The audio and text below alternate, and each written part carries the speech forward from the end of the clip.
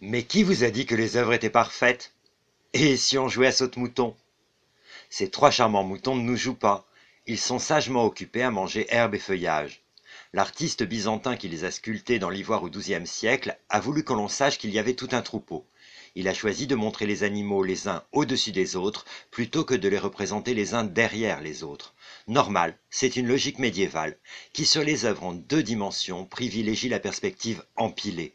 Pas si bête, n'est-ce pas?